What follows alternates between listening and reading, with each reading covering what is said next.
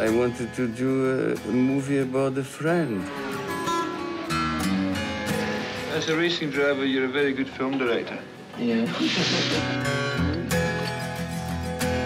Listen, this is a serious cut.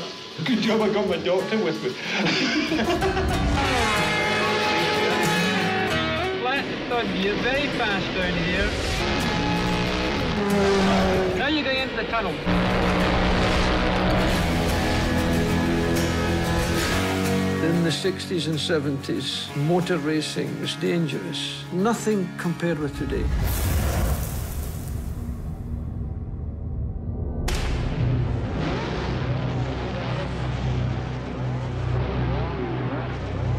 When I climb into a racing car, it's like a guy being given an injection.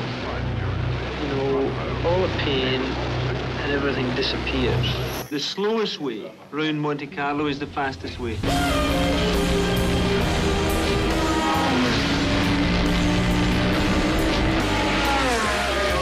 Monte Carlo should be driven smoothly and quietly. You've been kind to your motor car. It's been kind to you. You're great friends. You're married. You're having a fantastic affair.